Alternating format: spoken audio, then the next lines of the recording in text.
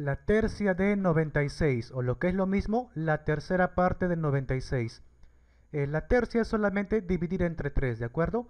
Para hacerlo paso por paso. Siempre que te digan tercia de un número, colocas ese número y lo divides entre 3, porque decir tercia es como decir divídelo entre 3.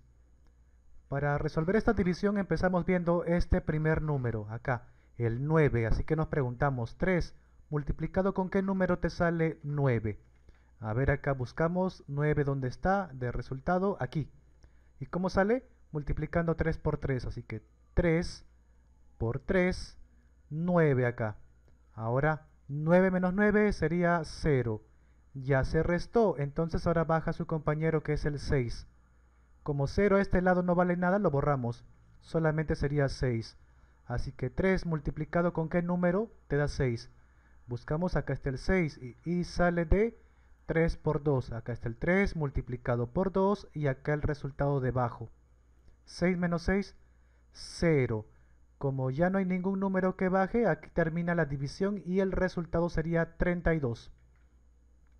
Entonces la tercia de 96 es 32. Acá también la tercera parte porque es lo mismo. Listo, no olvides suscribirte, tenemos que llegar a los 50 mil millones de suscriptores.